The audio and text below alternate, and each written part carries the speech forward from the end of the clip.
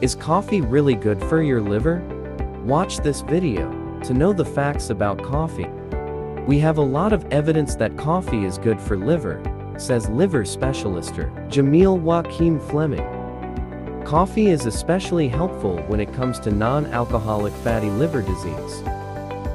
What is fatty liver disease? Fatty liver disease steatosis condition caused by having too much fat buildup in your liver. A healthy liver contains a small amount of fatite, becomes a problem when fat reaches 5% to 10 of your liver's weight. What causes a fatty liver? When the liver does not process and break down fats as it normally should, too much fat will accumulate. People tend to develop fatty liver if they have certain other conditions, such as obesity, diabetes, or high triglycerides. Alcohol abuse, rapid weight loss and malnutrition may also lead to fatty liver.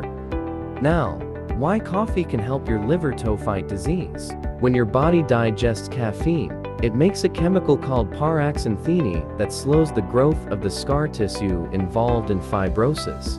That may help fight liver cancer, alcohol-related cirrhosis, non-alcohol-related fatty liver disease, and hepatitis C.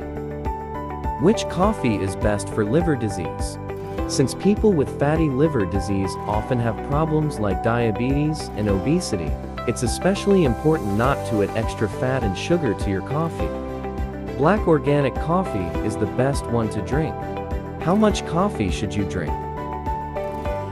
We recommend at least 3 cups every day to help prevent liver problems, Dr. Wakim-Fleming says. And if you have hepatitis or fatty liver disease, even more as many as 4, 5, or even 6 cups a day might be helpful. However, not everyone can handle that much coffee. It can trigger headaches, difficulty initiating sleep, anxiety, and jitters in some people. Strongly suggests going this routine if you can tolerate it. How to have a healthy liver. Drinking coffee is just one way to keep your liver healthy. It's also important to get vaccinated against hepatitis A and hepatitis B viruses, which both damage the liver. A healthy diet is also key. The liver is the first organ to metabolize the foods we eat. Eating a lot of high sugar, high saturated fat foods can lead to fatty liver disease. And of course, heavy alcohol drinking can permanently damage the liver and lead to cirrhosis. However, coffee isn't a miracle worker. It won't completely reverse liver disease or undo the damage caused by excessive alcohol use. But it can be one delicious and satisfying step toward a happier liver. Here are a few foods to include in your healthy liver diet. Greens. Greens to prevent fat buildup compounds found in spinach and other leafy greens may help fight fatty liver disease. A 2021 study trusted source found that eating spinach specifically lowered the risk of NAFLD, possibly due to the nitrate and distinct polyphenols found in the leafy green. Interestingly enough, the study focused on raw spinach, as cooked spinach did not have the same strong results. This could be because cooking spinach and other leafy greens may result in lowered polyphenolic content and antioxidant activity.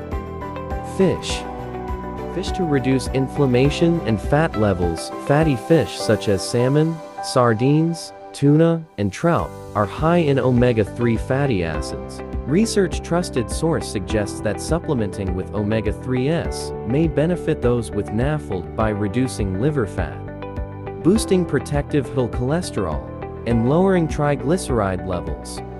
Nuts Nuts to help reduce inflammation. A diet rich in nuts is associated with reduced inflammation, insulin resistance, and oxidative stress, and a lower prevalence of NAFLD. Research trusted sources found that people with fatty liver disease who eats walnuts have improved liver function tests.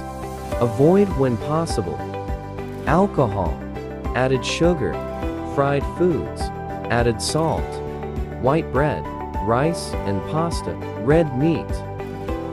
Getting active, exercise, paired with diet, can help you lose weight and manage your liver disease. Aim to get at least 30 minutes of aerobic exercise on most days of the week.